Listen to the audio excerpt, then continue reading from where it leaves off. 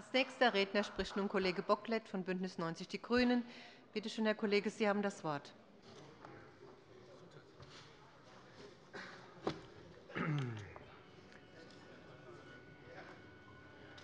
Frau Präsidentin, meine sehr verehrten Damen und Herren! Ich konnte nur in den ersten zwei Minuten mit Ihnen einig gehen, Frau Dr. Sommer, als Sie beschrieben haben, dass die Gesundheit das Wichtigste ist, was uns alle hier umtreibt und in der Verantwortung wir auch vor allen Bürgerinnen und Bürgern stehen. Der Rest des, Redes, der Rede kann ich eigentlich nicht wirklich verstehen, zum Teil, weil ich finde, bei der Gesundheitspolitik haben wir alle, die wir hier sind, habe ich keinerlei Personen in diesem Raum gehört, weder Damen noch Herren noch Abgeordnete, wer noch immer mir noch dazu einfällt, die irgendetwas an der Situation im medizinischen oder gesundheitlichen Bereich schönredet. Und wenn wir hier auf den Podiumsdiskussionen uns oft begegnen, dann haben wir das komplette Themenfeld aufgeklappt, alle Themenfelder. Und ich will sie Ihnen auch noch einmal sagen, weil sie als Hausaufgaben verabschiedet wurden, an dem sich mehrere Akteure auch beteiligt haben. Das nannte man oder das nennt man den Hessischen Gesundheitspakt 2.0. Dort wurden die Probleme identifiziert, und sie wurden aufgeteilt, wer was zu tun hat. Und man hat viele, eine umfangreiche Maßnahmenpakete mit auf den Weg bekommen. Und ich will Ihnen nur einmal sagen, ich möchte Ihnen nur einmal sagen, wir haben erstens Initiativen zur Stärkung von sektorenübergreifenden Kooperationen. Zweitens Initiativen zur Sicherung der ärztlichen pharmazeutischen Versorgung. Drittens. Initiativen zur Entwicklung zum Ausbau von E-Health und telemedizinischen Strukturen in Hessen. Viertens. Die Frage, wie können wir die Pflege zukunftsfest gestalten. Fünftens. Willkommens- und Anerkennungskultur gestalten, bessere gesundheitliche und pflegerische Versorgung von und durch Menschen mit Migrationshintergrund. Und sechstens. Der Zugang zum Gesundheits- und Pflegesystem für Menschen mit Behinderung. Das Land Hessen hat den Gesundheitsbericht aufgelegt. Wie ich finde, ein starkes Werk, das nichts schönredet, das die Probleme benennt, aber im Gegensatz zu Ihnen, meine sehr verehrten Damen und Herren von der Opposition, mit Lösungsvorschlägen arbeitet.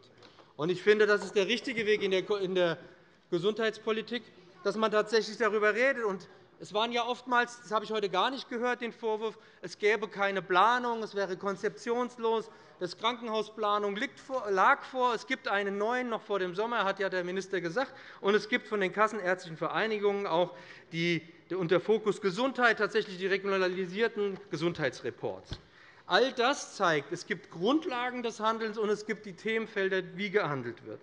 Das heißt also, Ihr Vorwurf, es wird nichts passieren und dass Sie natürlich im nächsten Jahr alles besser machen in der Opposition, das wünsche ich Ihnen von ganzem Herzen. Aber wir von der Regierung glauben, dass es tatsächlich heute schon viel getan wird. Ich nenne nur einmal sieben kurze Stichpunkte bei der Frage Krankenhauslandschaft, wie wir mit Verbündenförderungen dazu beitragen, dass tatsächlich die Krankenhäuser zukunftsfest aufgestellt bleiben.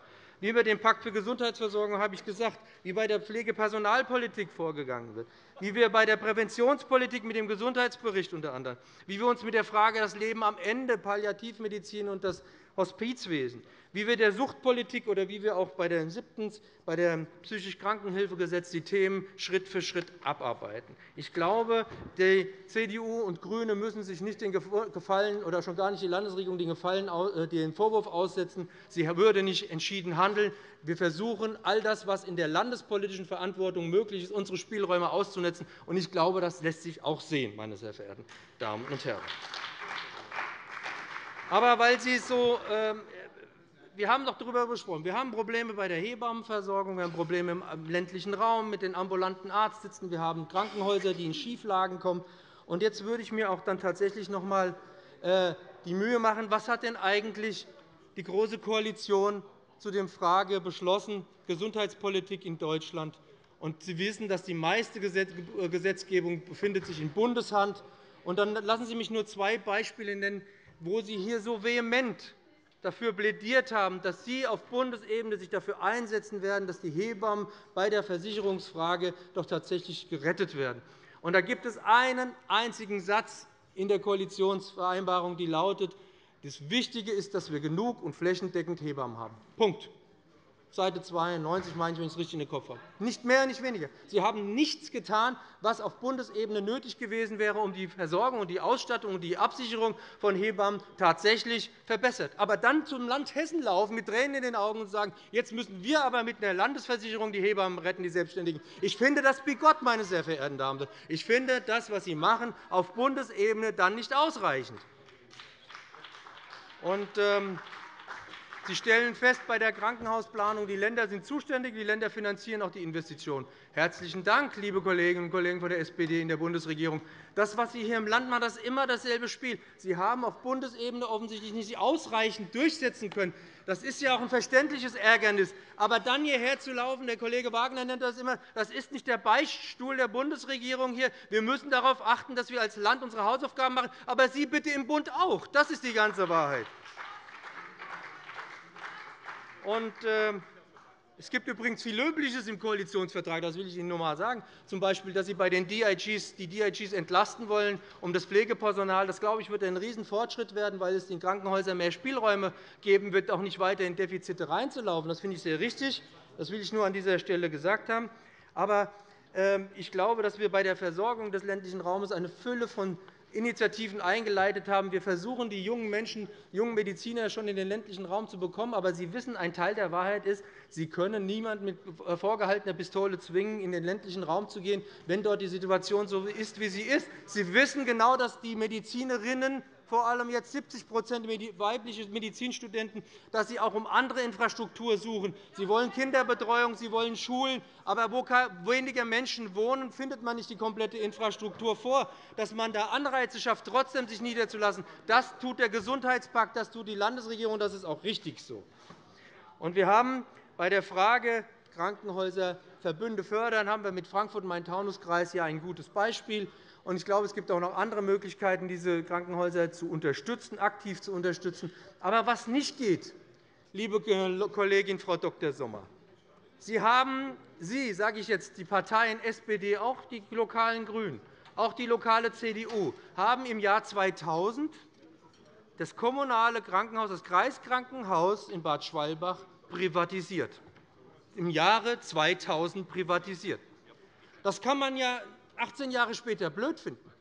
Aber sich dann darüber zu beschweren, dass ein privater Konzern es nicht geschafft hat, Helios in dem Fall, das Haus kostendeckend zu führen, über mehrere Jahre nur eine Auslastungsquote von 43% hat. Wir nehmen zur Kenntnis, dass die Bad Schwalbacher in andere Krankenhäuser gegangen sind. Offensichtlich hat Helios da etwas nicht richtig gemacht, warum auch immer. Und wenn das nicht ausgelastet ist und Sie dann einen Antrag darauf stellen auf Schließung, dann hat das Land das nicht zu befürworten oder zu verhindern oder was auch immer, sondern das ist eine Entscheidung von Helios-Kliniken. Und wenn der Kreis der Meinung ist, er möge dieses Krankenhaus auf Biegen und Brechen aufrechterhalten, dann kann man den Weg gehen, diese Helios-Klinik als Kreis zu kaufen und sie mit eigenen kommunalen Zuschüssen defizitär auch weiter zu betreiben. Andere Kreise machen das. Dann tun Sie es doch. Dann tun Sie es doch.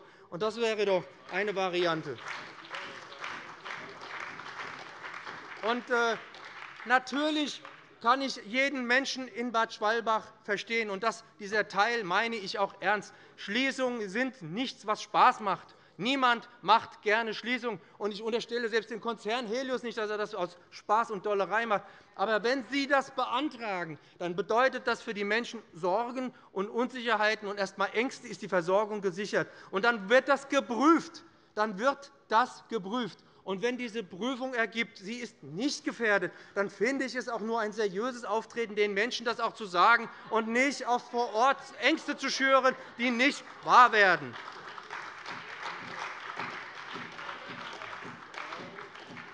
Natürlich ist das nicht schön, wenn ein Herr Weiß, Sie wissen das auch, Sie machen doch eine pseudopopulistische Politik. Das nimmt Sie doch keiner ab. Sie machen da Resolutionen vor Ort, wohl wissend, dass es gar nicht anders funktioniert. Das Land hat einen bescheidenen Spielraum. Wenn geprüft wird, dass die Versorgung gerettet ist, wenn die Versorgung nicht gefährdet ist, hat das Land rechtlich keine Spielräume, außer aus dem Versorgungsstrukturausgleich tatsächlich auch Mittel zu zahlen. Das ist der schmale Korridor des Handelns. Was die Landesregierung möglich hat. Wir verhindern, wir befürworten keine Schließung, wir verhindern sie auch nicht. Wir haben einen Teil in dieser Ablaufkette zu tun. Und wenn Sie vor Ort als Kommunalos, die das Ding äh, äh, privatisiert haben, wenn Sie als Kommunalos äh, versuchen, das Bild zu stellen, das Land schließt etwas und das Land sei schuld daran, dass die Helios-Kliniken schließen müssen, dann ist das wirklich fatal und falsch, meine sehr verehrten Damen und Herren. Nein, wir wollen eine gute, ausreichende Versorgung an Krankenhäusern, an Notfallversorgung. Und wir werden auch alles dafür tun, dass eine Notfallversorgung tatsächlich auch so gewährleistet ist, dass es zu nichts Schlimmerem kommt für die Menschen dort vor Ort. Und das ist auch tatsächlich das Bestreben der Landesregierung. Es laufen ja auch im Hintergrund auch andere Gespräche, wie noch tatsächlich weitergearbeitet wird. Und das ist ja auch gute Zeichen, die dort gesendet werden. Ich komme gleich zum Schluss, Frau Präsidentin. Es ist doch gutes Zeichen, dass dort die Arbeitsplätze, einige Arbeitsplätze erhalten werden, dass dadurch die Psychosomatik eine Klinik erhält. Das ist doch ein gutes Zeichen, dass wenigstens für einige Ärzte und äh, Pflegepersonal dort in diesem Bereich noch weiter Arbeit zu finden sein wird. Aber wir können als Landesregierung nicht wie ein Messias durchs Land gehen und jedes Haus retten, das vor Ort sozusagen verschuldet in diese Krise gekommen ist. Ich danke Ihnen, meine sehr verehrten Damen und Herren.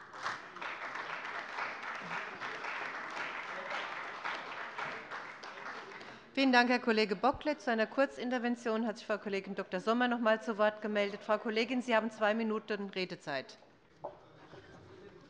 Lieber Herr Bocklet, ich glaube, Sie haben da etwas missverstanden. Also, wir haben nicht gesagt, dass die Landesregierung für die Schließung von Bad Schwalbach äh, verantwortlich ist. Wir haben gesagt, dass wir wollen, dass Helios endlich öffentlich Verantwortung nimmt. Und wenn die Kreisgremien meinen, sie könnten das machen, genau das, was Sie erklärt haben, dann sollen sie dieses tun. Nicht mehr, nicht weniger. Und das Zweite, was ich auch noch einmal sagen möchte. Wir haben nicht über die Versicherung von Hebammen gesprochen. Wir haben davon gesprochen, dass wir hier darum kämpfen mussten, dass die Landesregierung endlich registriert, dass wir einen Hebammenmangel hier vor Ort haben. Und das nicht seit gestern, sondern seit mehreren Jahren, wo Frauen 80 Hebammen in Frankfurt anrufen müssen, um überhaupt eine Unterstützung bei Geburt zu bekommen. Darum geht es, um nichts anderes. Und wir sind froh, dass die Landesregierung jetzt endlich nach diesem Druck, der aufgebaut worden ist, eine Liste erstellt, um zu schauen, wo fehlen die Hebammen, wo müssen wir nachsteuern, damit jeder die Hilfe bekommen kann, die er benötigt. – Herzlichen Dank.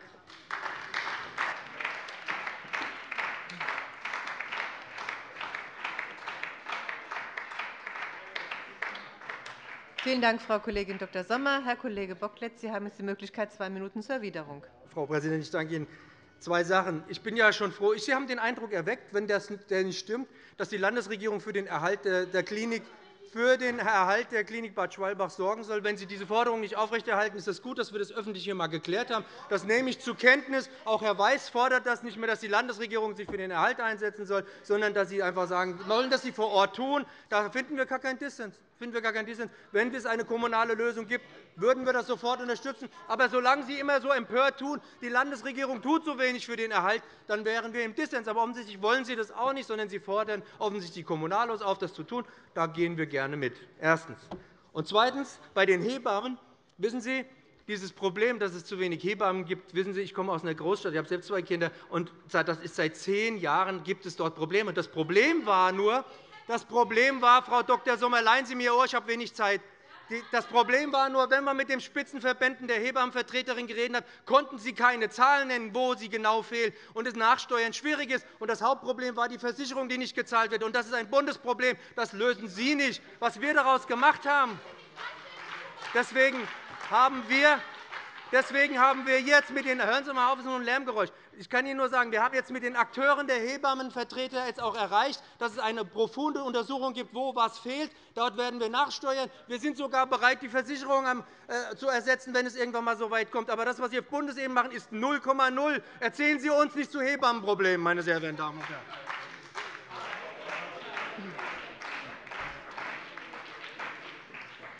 Danke, Herr Kollege Bocklet. Für die Landesregierung spricht nun Staatsminister Grüttner. Bitte schön, Herr Staatsminister, Sie haben das Wort. Ein bisschen mehr Ruhe, bitte, meine Damen und Herren. Frau Präsidentin, meine sehr verehrten Damen und Herren! Wenn man äh, die Beiträge der Oppositionsfraktionen hört, könnte man den Eindruck haben, dass wir in Deutschland ein schlecht funktionierendes, das Leben gefährdendes und in den Kinderschuhen steckendes Gesundheitswesen hätten.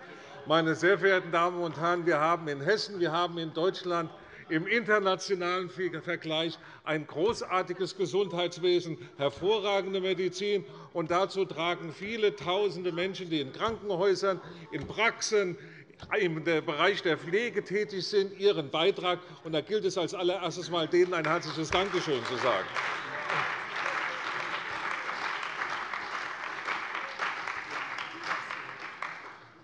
Das bedeutet nicht, dass man die Augen davor verschließen sollte, wo es Arbeiten gibt und wo es Aufgaben gibt, die man angehen muss, um die Strukturen letztendlich zu verbessern. Und dann wird auch so getan, als ob das Thema neu wäre und die Opposition es gerade erfunden hätte. Wir haben bereits im Jahre 2011 als Landesregierung und mit dieser Landesregierung im Jahre 2014 fortgesetzt, mit allen Beteiligten in Hessen einen Pakt zur Sicherstellung der gesundheitlichen Versorgung, insbesondere im ländlichen Raum, abgeschlossen. Und dann einfach um den Gesichtspunkt, Frau Dr. Sommer, Sie wollen ja ein paar Zahlen und Antworten wissen. Dann sage ich Ihnen, was wir machen. Wir fördern das sogenannte praktische Jahr im Wahlfach Allgemeinmedizin sowie von Formulaturabschnitten in Lehrpraxen mit rund 600 € im Monat. Wir fördern die Weiterbildung in der Allgemeinbildung mit einem Gehaltszuschuss von 4.800 € monatlich über das Kompetenzzentrum Weiterbildung Allgemeinmedizin. Wir sind diejenigen, die überhaupt an den Universitäten Marburg und in Frankfurt eigene Kompetenzzentren Weiterbildung Allgemeinmedizin eingerichtet haben, die wir mit 250.000 € per anno fördern. Wir machen Ansiedlungsgeförderung in Gebieten mit einem besonderen Versorgungsbedarf mit rund 66.000 €, indem wir dies als Investitionskostenzuschüsse je Praxis geben. Die KV gibt Honorarumsatzgarantien. Wir übernehmen die Kinderbetreuungskosten und geben Umzugskostenzuschüsse. Im pflegerischen Bereich haben wir die anteilige Übernahme der Finanzierung der schulischen Ausbildung. Gleichzeitig beteiligen wir uns als Land Hessen in der Ausbildungs- und Qualifizierungsaltenpflege des Bundes. Wir haben äh, einen generellen Neuzuschnitt bei den Gesundheitsberufen und Fachberufen zu verzeichnen. Der ist auch notwendig damit die qualitativen Anforderungen entsprechend berücksichtigt werden. Deswegen haben wir in den Koalitionsvereinbarungen auch verabredet, auf der Bundesebene das umgehend ein neues Pflegeberufegesetz auf den Weg bekommen. Zur Förderung von sektorenübergreifenden Kooperationen stellen wir in der Zeit von 2014 bis einschließlich 2017, also in dieser Legislaturperiode, nicht das, weil Sie sagen, wir müssten anfangen, insgesamt 2,4 Millionen € zur Verfügung, die eingesetzt werden können und haben gleichzeitig eine Arbeitsgruppe im 90a-Gremium nach SGB V eingerichtet zur sektorenübergreifenden Bedarfsplanung und gleichzeitig zur Neustrukturierung der Notfallversorgung. Wir haben am Kreisklinikum in Höchst einen Modellversuch mit der Kassenärztlichen Vereinigung und dem Krankenhaus eingerichtet, in der die Frage der Leitstelle und des Leitens im Hinblick auf die Frage, ist es ein Notfall, der klinisch oder ist es ein Notfall, der ambulant versorgt werden muss, eingerichtet. Den fördern wir mit mehreren hunderttausend € für die nächsten drei Jahre. Wir haben eine ganze Reihe von Partnerpraxen gewonnen, die an dieser Stelle äh, daran teilnehmen. Wir wissen, dass wir bei der Fragestellung der Digitalisierung wir wissen, dass wir bei der Fragestellung der Digitalisierung dieses als Mittel zum Zweck, als Hilfsmittel mit einsetzen. In diesem Zusammenhang erproben wir an den unterschiedlichsten Bereichen, gerade zur Sicherstellung der Versorgung im ländlichen Raum, auch den Einsatz von digitalen Instrumenten, um Versorgungssicherheiten sicherstellen zu können. Dafür werden wir rund 6 Millionen € jährlich zur Verfügung stellen. Wir haben äh, in einem gemeinsamen Bericht einer Expertengruppe, bei der das Land Hessen federführend mit tätig gewesen ist, der Gesundheitsministerkonferenz und der Kultusministerkonferenz Fachkräftesicherung im Gesundheitswesen, das ist im Übrigen 2015 auch keine neue Erfindung von Ihnen, festgehalten, dass wir strukturelle Veränderungen in vielen Bereichen haben und damit auch einhergehen soll eine deutliche Erhöhung von Medizinstudienplätzen. Im Masterplan 2020 haben wir das festgehalten, ist im letzten Jahr auch entsprechend beschlossen worden und findet sich jetzt an dieser Stelle auch noch einmal wieder im Koalitionsvertrag. Wir haben in Hessen ein leistungsfähiges Notfallsystem das insbesondere durch die Fragestellung auch des Einsatzes von Ivena, ein Exportschlager, der in der Zwischenzeit auch im europäischen Ausland Anwendung findet, und dort eingesetzt wird, die Situation, dass wir verunfallte Menschen zielgerichtet an die Krankenhäuser bringen können, die für die optimale Versorgung geeignet sind. Wenn zurzeit, wenn eine Grippewelle viele Kapazitäten in Krankenhäusern entsprechend stilllegt und dieses eine saisonale, punktuelle Frage ist, werden wir uns, und dazu haben wir die Gesprächspartner bereits eingeladen, mit ihnen auseinandersetzen, wenn wir wissen, dass es zu einem gewissen Zeitpunkt kommt, dass dann Krankenhausträger, äh, Krankenhausträger Urlaubssperren einsetzen müssen, dass wir Reha-Kliniken mit in Kraft setzen müssen, um entsprechende Aufnahme vorzunehmen, und wir unsere Fördertatbestände in Zukunft an dieser Stelle dementsprechend auch versuchen müssen, äh, äh, unsere Förderungen auch verbinden müssen mit entsprechenden Gegenleistungen in diesem Bereich. Wir werden im Hinblick auf die jetzt vom Bund eingesetzte Arbeitsgruppe sektorenübergreifende Versorgung uns aktiv dafür einsetzen, dass Bedarfsplanung auch gemeinsam gemacht wird. Und wenn Sie den Koalitionsvertrag richtig lesen, Sie haben ihn ja zum Teil mit unterschrieben aus Ihrer Fraktion, dann steht auch dort drin, dass erstmalig bei der Notaufnahme eine gemeinsame Finanzierung von Kassenärztlicher Vereinigung und Krankenhaus auf den Weg gebracht werden soll. Wenn es gelingt, einmal an einer Stelle die Sektoren die bei diesen Finanzierungsfragen immer vorhanden sind, zu überwinden, bin ich guter Hoffnung, dass das in Zukunft auch in anderen Bereichen gewährt. Lassen Sie mich dann auch noch sagen, dass wir auch in Hessen eine flächendeckende und qualitativ hochwertige Versorgung mit Krankenhäusern haben. Wir haben in den letzten 15 Jahren eine ausgesprochen gute Krankenhausstruktur in Hessen geschaffen. Wir haben mehr als alle anderen Länder in die Investitionsförderung ausgegeben.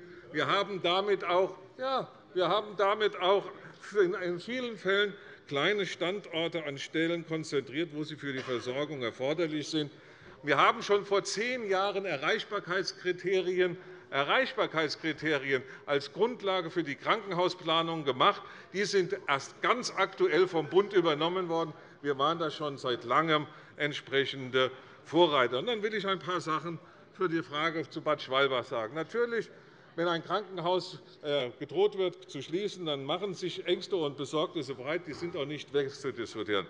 Aber es lohnt sich schon, auf die Fakten zu schauen. Auf der einen Seite im Jahr 2000 hatte das Krankenhaus in Bad Schwalbach noch 150 Betten, die zu 76% ausgelastet waren. Das war der Zeitraum, an dem sich der Kreis entschieden hat, das Krankenhaus zu privatisieren. Das ist 18 Jahre her. Keine Entscheidung des Landes, eine ausschließliche Entscheidung des Rheingau-Taunus-Kreises zum damaligen Zeitpunkt. Mittlerweile hat das Krankenhaus noch 110 Betten, eine Auslastung von 43% und 17.000 Behandlungstagen. Das liegt nicht daran, dass es heute weniger kranke Menschen gibt als damals. Es liegt vielmehr daran, dass die Bevölkerung das Krankenhaus zunehmend nicht mehr in Anspruch nimmt und in andere Krankenhäuser geht.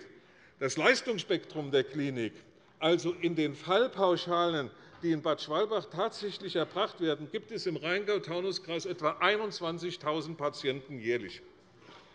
Davon gehen aber nur noch knapp 3.000 in das Krankenhaus nach Bad Schwalbach. Das heißt, ein Anteil von 15% 85% der Menschen, die sich in eine Krankenhausbehandlung geben und die im Rheingau-Taunus-Kreis leben, gehen von sich aus in ein anderes Krankenhaus. Das ist eine Entscheidung, die der einzelne Patient zu treffen hat. Außerdem behandelt bei den Fällen, die noch vorhanden sind, das Krankenhaus in Bad Schwalbach zu einem Großteil Patienten, die in anderen Ländern längst ambulant versorgt werden. Die häufigste Operation im Kreiskrankenhaus oder im Krankenhaus in Bad Schwalbach sind Varizeneingriffe. Ich nehme an, Sie wissen, was das ist. Das sind Krampfadern. Aber die haben nun unbedingt nichts mit Notfallversorgung an irgendeiner Stelle zu tun, allenfalls, wenn die Besenreißer ein kosmetisches Problem darstellen und man sie gerne weg hätte. Aber lebensbedrohlich ist es an dieser Stelle nicht. Und das ist der größte Teil der Eingriffe, die in Bad Schwalbach vorgenommen werden. Und dann wird erklärt, für die Notfallversorgung sei dieses Krankenhaus unverzichtbar. Nicht zu denken. Im Übrigen der gemeinsame Bundesausschuss wird in den nächsten Jahren nach dem Prinzip Übung macht den Meister zunehmend Mindestmengen als Kriterium für die Aufrechterhaltung von Krankenhäusern im SGB V schaffen. Auch dieses würde sich auf ein so kleines Haus wie Bad Schwalbach auswirken.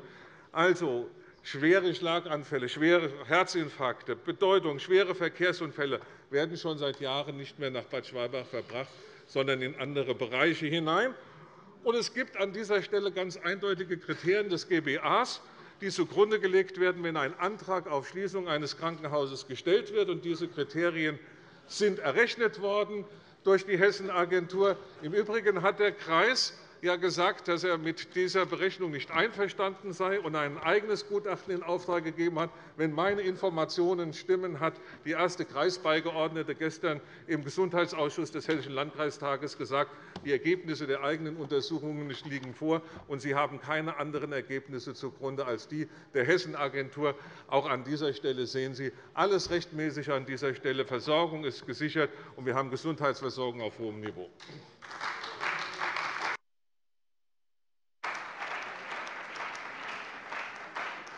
Danke, Herr Staatsminister.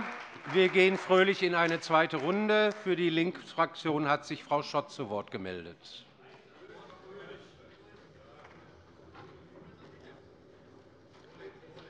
Herr Minister, Ihre Welt scheint ja in Ordnung zu sein. Dann wundert es mich nur, dass wir in diesem Land völlig überlastete Ärzte haben. Ich habe mit Kardiologen gesprochen, die sagen mir, ich arbeite zehn Stunden am Tag nur am Patienten. Dazu kommt noch die Verwaltung. Ich kann nicht mehr. Ich bin am Ende. Eine normale Wartezeit, um einen Facharzttermin zu kriegen im ländlichen Raum, beträgt bis zu sechs Monaten. Das finden Sie also in Ordnung, Herr Minister. Und ein Gesundheitsminister, der meint, dass 50 km zu einer Entbindung ja eine zumutbare Entfernung sein kann, ist in meinen Augen kein Gesundheitsminister, sondern frauenfeindlich. Wenn wir über 100 km Patienten durch die Landschaft fahren, damit sie ein Klinikbett finden, das finden Sie also eine gute Situation in Hessen. Wir haben Landstriche in diesem Land, da gibt es keinen einzigen Kinderpsychotherapeuten mehr. Auch das finden Sie gut, Herr Minister. Sie haben ja gerade gesagt, die gesundheitliche Versorgung ist in Ordnung. Wir haben ganze Landkreise ohne einen Kreissaal. In den letzten äh, sechs Jahren sind elf Kreissäle geschlossen worden. Das finden Sie gut, Herr Minister, ja, weil die Versorgung hier gut ist. Ich war da überhaupt noch nie, Herr Kollege, und ich habe auch kein Interesse, dahin zu reisen. Aber Sie sollten vielleicht einmal versuchen, einen Arzt zu finden im ländlichen Raum stundenlange Wartezeiten in den Notaufnahmen in diesen Krankenhäusern, Herr Minister, finden Sie gut, weil Sie finden die Versorgung hier gut, ja? Frau Schott, Augenblick mal. Ein bisschen mehr Ruhe im Saal, bitte. Frau Schott hat das Wort. Frau Schott darf laut sprechen, Sie nicht. Die Kassenärztliche Vereinigung ruft seit Monaten nach Hilfe und sagt, wir können unserem Versorgungsauftrag nicht mehr nachkommen. Die versucht, Ihnen die Tür einzurennen. Herr Minister, dann kann die Situation gar nicht gut sein. Ihr vielgelobtes IVENA zeigt ja fast öfter rot als grün an. Es ist zwar hilfreich, dass es das gibt, aber wenn es zu dem Ergebnis kommt, es gibt keine Betten, dann hilft IVENA auch nichts. Und Ihre alten Altenpflegeausbildung ist unterfinanziert seit Jahren, und das wissen Sie auch. In den letzten 15 Jahren, von denen Sie gerade gesprochen haben, sei die Krankenhaussituation in Hessen gut. 30 Krankenhäuser sind geschlossen worden in diesen 15 Jahren. Und was Bad Schwalbach angeht, und Sie sagen, das ist ja nur noch eine kosmetische Operation, dann frage ich mich, warum die niedergelassenen Ärzte vor Ort sagen, wir brauchen dieses Krankenhaus. Vielleicht sollten Sie sich einmal mit denen darüber auseinandersetzen, ob die nichts anderes tun, als kosmetische Operationen zu verordnen. Danke, Frau Schott. Für die SPD-Fraktion hat sich Frau Dr. Sommer gemeldet.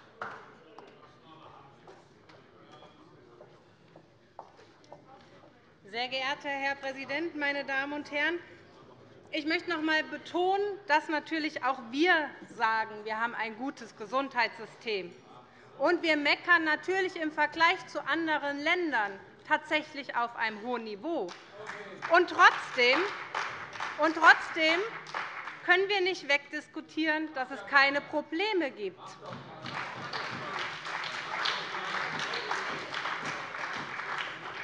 Und Sie haben auch recht, der Dank gilt allen Beschäftigten, aber auch ehrenamtlichen und pflegenden Angehörigen, die jeden Tag harte und gute Arbeit leisten.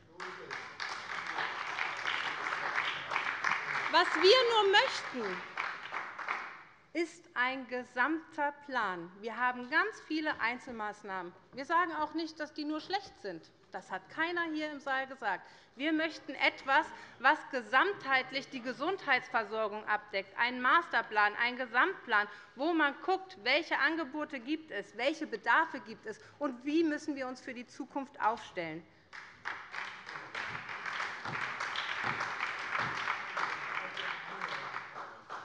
Und ich möchte auch noch einmal auf die Notfallversorgung Bad Schwalbach zu sprechen kommen. Schon jetzt ist es so, dass viele vom Untertaunus, dass mehr Patienten vom Untertaunus nach Bad Schwalbach statt nach Wiesbaden gehen. Und ich empfehle Ihnen die Pressemitteilung der CDU-Kreistagsfraktion vom 25.01.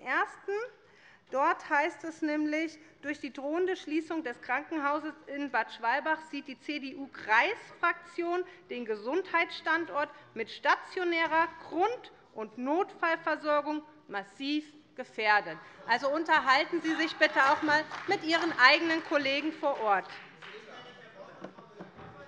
Ja, ich dachte auch, die Frau Müller-Klepper und Herr Beuth wären dort immer anwesend. Aber vielleicht dringt es dann doch nicht nach Wiesbaden, auch wenn Bad Schwalbach gar nicht so weit entfernt ist. Und ein letzter Punkt. Da muss ich doch noch einmal auf den Herrn Bocklet zu sprechen kommen. Herr Bocklet, vielleicht haben Sie dem Gesundheitsminister hier in Hessen ja besser zugehört als mir. Der Gesundheitsminister auf Bundesebene den stellt nicht die SPD, sondern die CDU. Und der Herr Grüttner hat eben alles, was es zu der Haftpflichtversicherung von Hebammen zu sagen gibt, ausführlich und ausdrücklich beschrieben. Und Herr Grüttner war auch da mit beteiligt, um das auszuhandeln. Also sprechen Sie mit Ihrem Koalitionspartner und greifen Sie nicht uns an. Danke schön.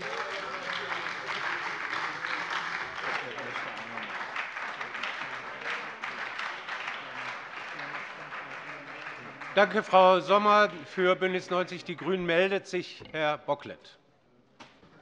Frau Dr. Sommer, Herr Präsident, der Masterplan so ein bisschen kommt es mir vor wie der Hessenplan von der SPD. Da müsste man mal, da müsste mal, man könnte mal, und was wäre denn überhaupt mit, und eine Fülle von Einzelmaßnahmen.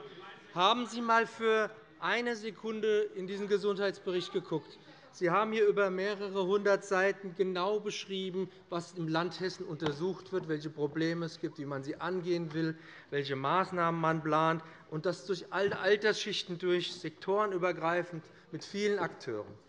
Zweitens. Im Gesundheitspakt habe ich Ihnen vorgelesen auf zwei DIN A4 Seiten, welche Initiativen zum sektorenübergreifenden, zum pharmazeutischen Versorgung, zu E-Health. Ich habe Ihnen das vorgetragen. Ich mache das gerne. Das gehört zu, wie sagen unsere Lehrer in der Fraktion immer, das gehört zum pädagogischen Instrument, die Wiederholung damit es auch irgendwann einmal sitzt. Das Ganze ist eine Planung. Dazu kommt noch eine Krankenhausplanung, und es kommt noch die von der Kassenärztlichen Vereinigung zu verantwortende ambulante Versorgung. Das Ganze ist durchgeplant, und ich finde, das Land Hessen ist gut aufgestellt in dieser Frage. Und trotzdem, es passt nicht in Ihr Weltbild von einem differenzierten Denken. Das mag so sein. Wir tun das. Obwohl es gut aufgestellt ist, gibt es eine Fülle von Problemen. Und das, was ich nur beklage, ist, deswegen wird es ja bei unserem Koalitionspartner auch ein bisschen ruhiger, dass die Bundes äh, Bundesregierung und die Koalition, dieser Koalitionsvertrag auf Bundesebene nicht alle Probleme angegangen ist, die wir brauchen, im Lande brauchen, ich habe nur exemplarisch ein Beispiel gebracht. Das war die Investitionskostenförderung für Krankenhäuser. Und ich habe jetzt das zweite Beispiel gebracht. Bei der Hebammenversorgung gibt es für die selbstständigen Hebammen das Problem der Versicherung, der exorbitant teuer geworden ist. Ich hätte mir dort eine Hilfe von der Bundesregierung gewünscht. Ob Herr Grüttner dabei ist oder nicht, das wird jetzt sehr stark wahrscheinlich, dass er das erträgt. Ich hätte mir da eine Lösung der Bundesregierung gewünscht. Und Sie gehören dazu. Deswegen, Sie deuten aber auf das Land Hessen. Und das ist die Doppelzüngigkeit, die wir kritisieren. Ich danke Ihnen.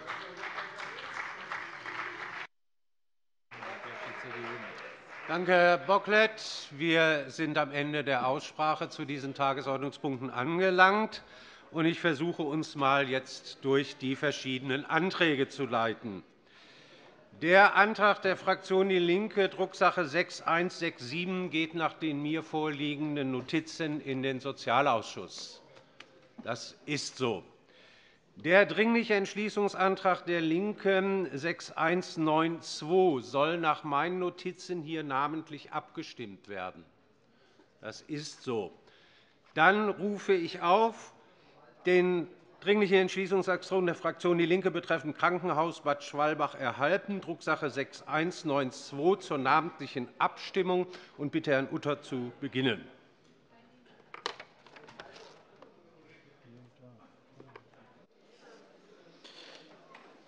Ulrike Alex,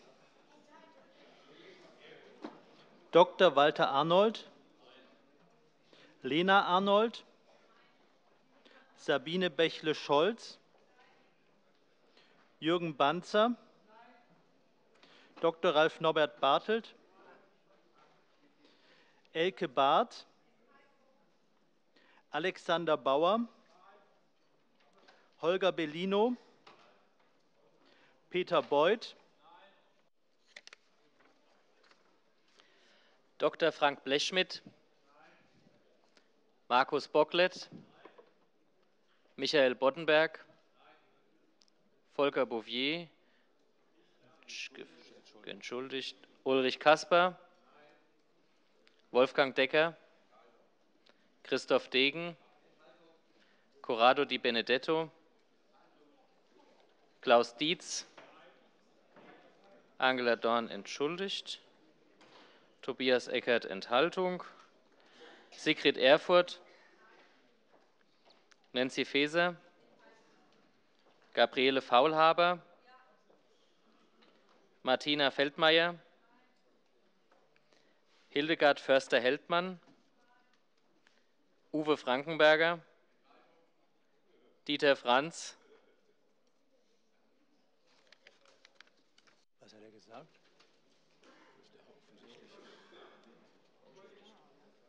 er gesagt? Okay. Jürgen Frömmrich, Kerstin Geist,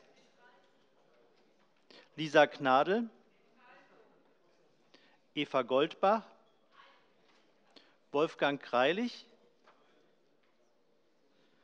Stefan Krüger, Gernot Krumbach.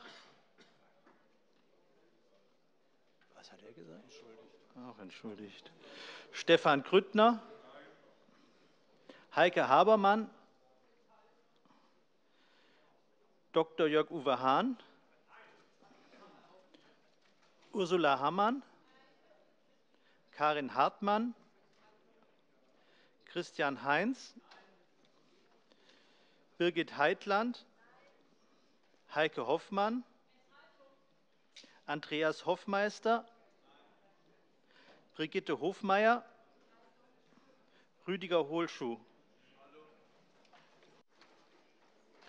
Hartmut Honka, Norbert Kartmann, Heiko Kasseckert, Frank-Peter Kaufmann, Kaya Kinkel, Irmgard Klaff-Isselmann, Horst Klee, Hugo Klein, Wiebke Knell, Eva Kühne-Hörmann, Gerald Kummer,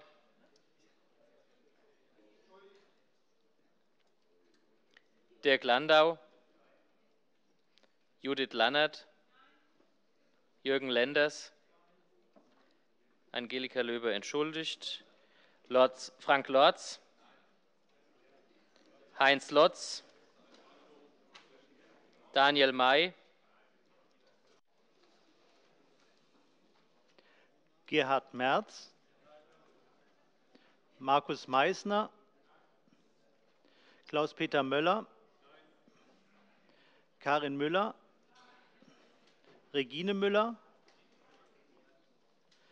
Petra Müller-Klepper, Handan Özgüven,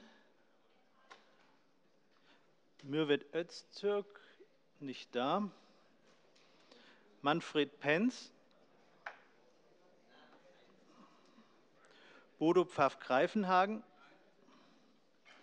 Lucia Puttrich, entschuldigt, Lothar Quanz, Claudia Ravensburg, Clemens Reif,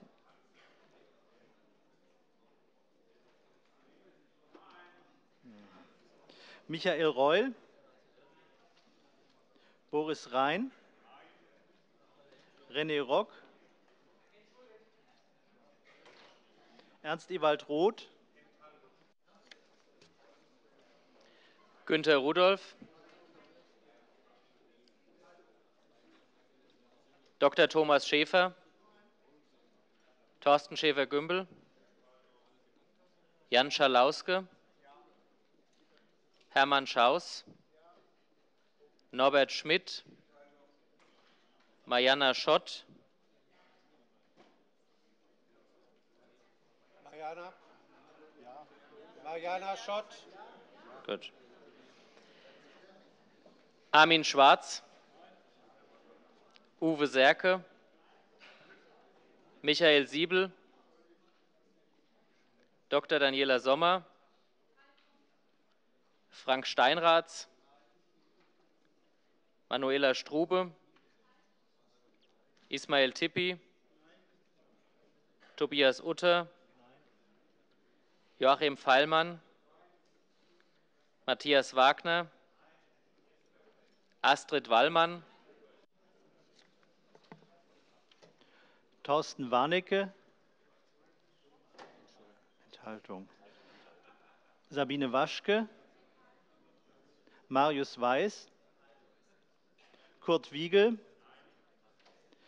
Dr. Ulrich Wilken. Axel Wintermeyer. Janine Wissler. Karin Wolf. Andrea Ypsilanti. Turgut Yüksel. Hat jeder, jede, der oder die eine Stimme abgeben wollte, die Stimme abgeben können? Das scheint der Fall zu sein. Dann schließe ich die Abstimmung und unterbreche die Sitzung kurzfristig zur Auszählung.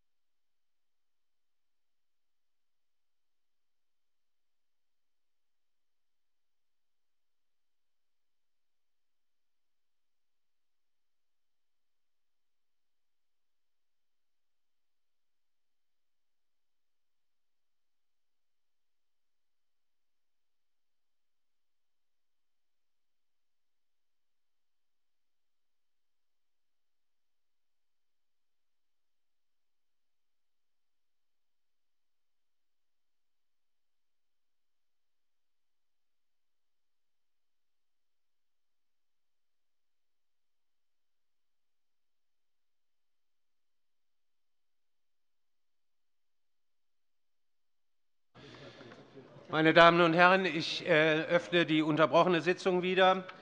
An der namentlichen Abstimmung haben 97 Kolleginnen und Kollegen teilgenommen, 13 sind abwesend, sechs haben mit Ja gestimmt, 62 mit Nein, 29 haben sich enthalten. Dieser Antrag hat keine Mehrheit gefunden. Ich rufe auf den Dringlichen Entschließungsantrag 6197. Der soll nach meinen Notizen in den Sozialausschuss. Gut, das machen wir so. Und über den Antrag 6200 stimmen wir jetzt ab. Gut, dann stimmen wir jetzt ab über den Dringlichen Entschließungsantrag der Fraktionen der CDU und BÜNDNIS 90 die GRÜNEN betreffend Situation der Krankenhauslandschaft im Rheingau-Taunus-Kreis, Drucksache 6200 aus 19. Wer diesem Antrag zustimmt, bitte ich um das Handzeichen. Das sind die Fraktionen CDU und BÜNDNIS 90 die GRÜNEN. Dagegen die Fraktionen SPD, DIE LINKE und die FDP. Damit erübrigt sich die Frage nach Enthaltungen. Dieser Antrag ist angenommen.